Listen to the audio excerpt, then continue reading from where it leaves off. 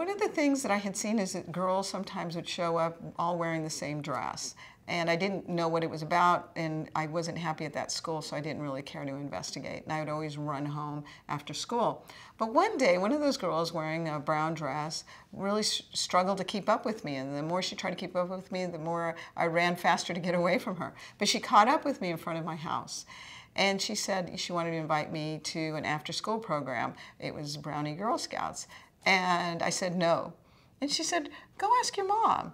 And uh, one of the things at Girl Scouts teach you to be persistent. And, and so I said, okay. And I went in and asked my mom, who was cooking uh, dinner, and she said to me, um, no, go ahead and go. She just wanted to know where I was going to be.